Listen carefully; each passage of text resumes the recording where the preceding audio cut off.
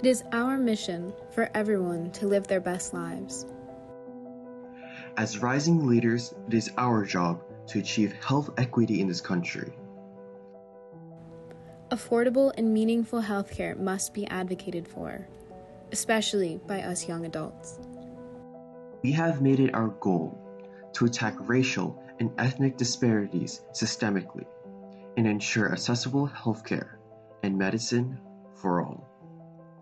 So we are all for health and health for all.